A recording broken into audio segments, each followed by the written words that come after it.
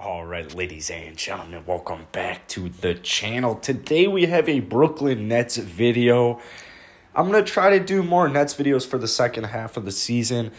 They got the win tonight against the Washington Wizards, thanks to very good games by James Harden and Kyrie Irving.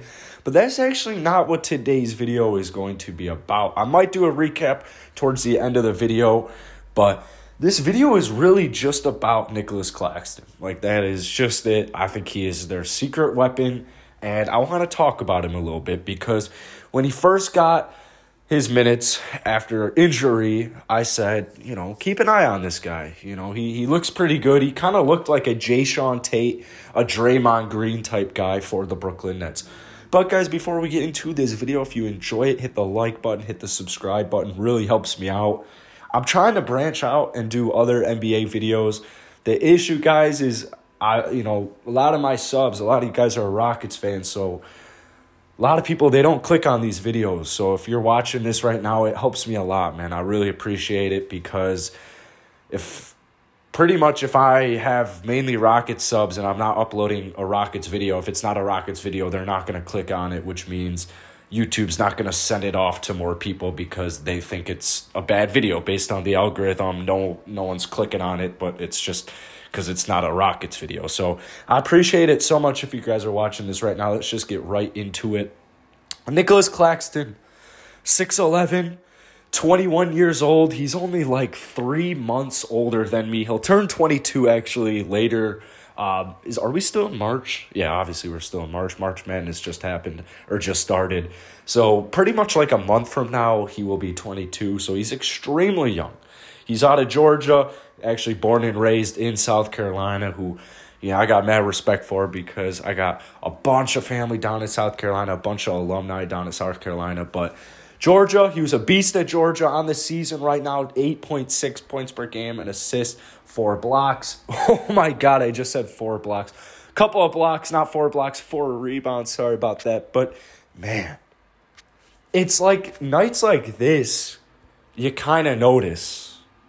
So basically, obviously, we all know um, the Nets got Blake Griffin, and actually, this was his. This was Blake Griffin's debut. He only played in 14 minutes.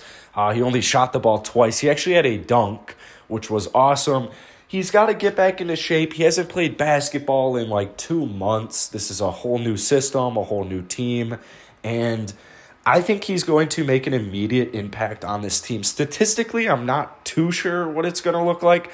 I kind of am regretting the fact that I went and picked him up immediate. I can't remember who I dropped to get him, but I can already feel myself shooting myself in the foot because I just think like I mean, it's not like he's going to be going like 15 and 6 with, with the minutes he's given and, and the role he, he has. That's not what he should be doing anyway. So, Blake, it's good to see him back, but Andre Drummond, he's been in the buyout market, he's been in uh, the trade, t- trade talk. So, kind of the whole league's wondering right now um, is somebody going to trade for Andre Drummond? And basically, are the Lakers or the Nets going to trade for Drummond? Or if he gets bought out, is Drummond going to go to the Nets or is he going to go to the Lakers? And pretty much what this game to me, what Claxton was essentially saying was either way, I got you. Either way, I got you. Obviously, he's not saying this directly, but go out, get Andre Drummond for the season. Let's go all in. I'm 21 years old. Let's go get a ring. I could use playoff experience in case somebody gets hurt. I'll be here. I can still give you valuable minutes in the playoffs and for the, the rest of the season. Don't worry, I got you. But if not, you don't want to trade for Drummond, don't want to give up any pieces, or maybe the Lakers beat them to the punch, whatever it is. He's got them as well. They don't need Drummond. They've got Claxton, and Claxton's the guy who is getting better as every single game is going on. For my Rockets fans, it's so similar to Jae'Sean Tate. Obviously, different positions, but it's just, it's that guy you have come in, immediate impact tonight. 26 minutes, 16 points, 7 to 10 shooting, 3 rebounds, a steal, and 3 blocks. Immediate impact, not only just statistically and in the box score, but just momentum and the vibe. Like, this is a dude who you know has your back and is giving his all every minute of every second he's out on the court. Like David Nwaba, Jae'Sean Tate, Draymond Green. Like, these guys, they're the players' champ. They're the players' champ. So Claxton, I've got a I've got a gut feeling he's going to be, even if it's if he doesn't make an immediate role, like say they do get Drummond or maybe Blake Griffin goes off and um, once once the the Nets are fully healthy, maybe Claxton just doesn't play much. But either way, they've got him for longer than this season, right? So they're they're gonna be just fine. Claxton, no matter where he is, I, I think this guy is gonna be special, man. I really do. So let me know if you guys agree with that statement it was a good win for the Nets tonight. It was a good win.